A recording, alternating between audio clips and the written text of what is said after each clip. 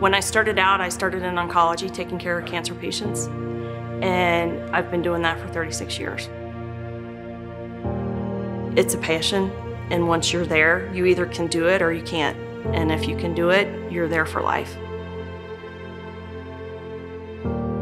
Kathy's someone who doesn't seek the spotlight. She's a doer, she's not a talker. She really thrives on growing her program and making sure that her patients have the best quality care. She's driven. She's just very driven. Kathy, I've always admired her vision. She has a vision for what she wants, what she feels is the right thing to do, and then she she pushes for it. Have a very competitive and driven kind of personality. I started to see things where we can do this better. And it naturally just kind of led me in a direction of a leadership role. And it was really always focused on what can we do better for the patient. She would not expect this kind of recognition, nor would she want it. She does what she does because it's the right thing to do. I've been taking care of patients and I've seen that trajectory over many years. And it used to be a really an acute illness where you would go through one treatment, maybe two different types of treatment.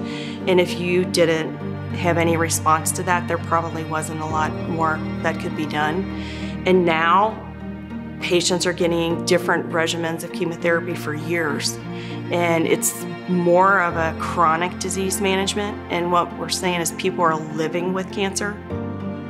We can specialize the treatments and, uh, and customize them exactly to you.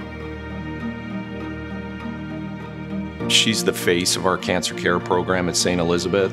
And uh, I have a special appreciation for Kathy. She was instrumental in our system achieving magnet designation. She has made and will continue to make a big difference for this community. It's hard to accept an award for something that you love what you're doing. And it's not me. We have a wonderful team of people creating the vision of what we're doing to take care of cancer patients, and it's not just me. Congratulations, Kathy. You definitely deserve this. I am so very proud of you.